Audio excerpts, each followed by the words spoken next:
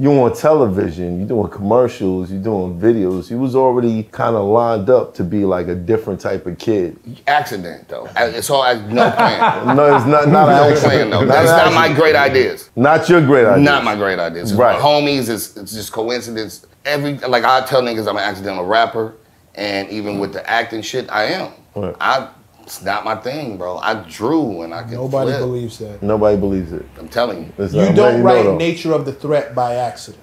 Mm. I care about my people. I thought I was gonna be. First of all, you never asked me what I really planned on doing by this age. I wanted to be an archaeologist. I'm still a nerd. End of the day, mm. a lot of niggas don't embrace who they are. I've always been a nerd. I like comic book shit. That's why my source shit. And I be talking about Wolverine, nigga, and adamantium. Yeah, nigga. Marvel. Yeah, Marvel all G. day. Fuck Right, so Sundays, bro. Yeah. I embrace, Niggas- but I'm a hood nerd. I, even how I dressed on purpose. I called it collegiate gangster, like hood collegiate.